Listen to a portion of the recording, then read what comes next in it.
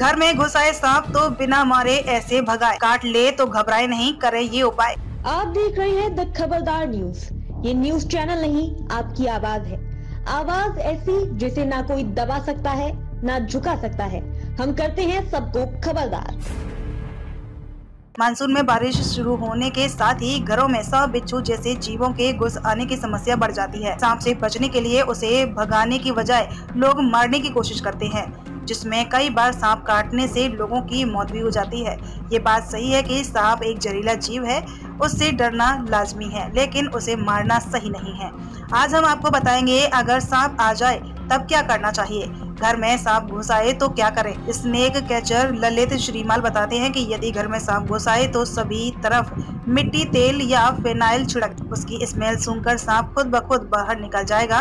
एक लंबा डंडा लेकर सांप के सामने रखें। सांप उसमें चढ़ जाएगा। इसके बाद उसे उठाकर बाहर निकालें और घर से दूर ले जाकर छोड़ दें। अगर इसे सही तरीके से नहीं किया गया तो ये जानलेवा भी हो सकता है। वही सांप एक ऐसा जीव है जो दीवार बाउंड्री के किनारे रहता है। जिस जगह पर सांप हो, उसे थोड़ी दूर पर पाइप से बोरा बिछा कर रखे। जब सांप बोरे में घुस जाए और बोरा बंद कर दूर जंगल में ले जाकर उसे छोड़ दें, किन परिस्थितियों में आता है सांप? स्नेक कैचर ललित श्रीमाल बताते हैं कि सांप आमतौर पर मेढक चूहे खाने के लिए आता है और बारिश के दिनों पर जब बिलों में पानी भर जाता है, तब सांप इधर उधर नए बिलों की तलाश में निकल जाता है।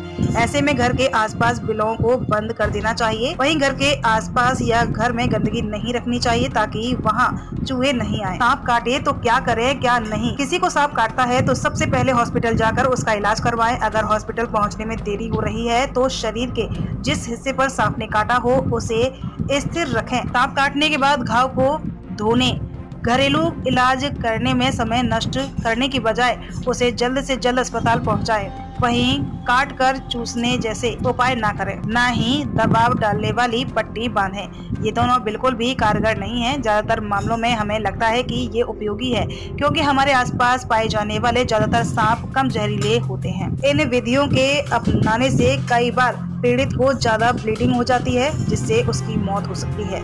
साथ ही इससे इन्फेक्शन का खतरा भी बढ़ जाता है। अगर आपको वीडियो पसंद आई हो तो वीडियो को लाइक करें शेयर करें और हमारे चैनल को सब्सक्राइब करना ना भूलें। अपने सपनों का घर बना रहे हैं। एपी कंस्ट्रक्शन सॉल्यूशंस आपके लिए तैयार है। मज़बूत सिविल इंजीनियरिंग से लेकर आकर्षक वास्तुकला और विशेषज्ञ वास्तु परामर्श तक हम आपके सपने को साकार करते हैं। वास्तुकला, वास्तु और हुनर इतने बढ़िया दिए गए नंबर पर कॉल करें और अपने घर के डिज़ाइन को चमकाएँ। Please visit the Mountain Cafe and Bakery for fast food nearby Suhagi bypass